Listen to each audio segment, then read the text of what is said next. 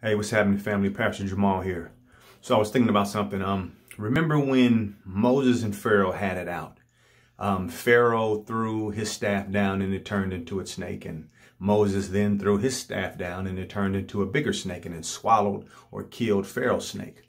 So I was thinking about that, and I was um, um, I felt the Spirit remind me of something. Well, it didn't remind me because I didn't look at it like that before, but when Moses' staff turned into the snake, of course, and it swallowed or it killed Pharaoh's, God is telling you there that God, of course, we know God is bigger, but God's perspective uh, and outcome has the ability to swallow up the negative thing.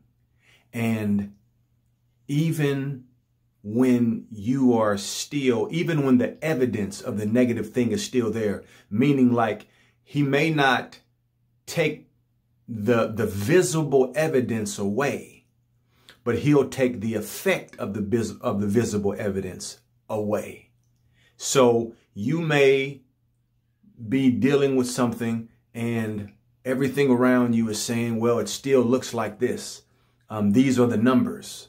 And then God comes in and reminds you that, oh, it doesn't matter what they say or what the numbers say because I've swallowed up your situation. I have taken away the effects of your situation, no matter what it is. If you, if you buy into God's truth, if you lean into God's perspective, you're going to become uh, the visible representative of that perspective. And it changes everything. Hope it makes sense, people. I'll talk to you. Peace.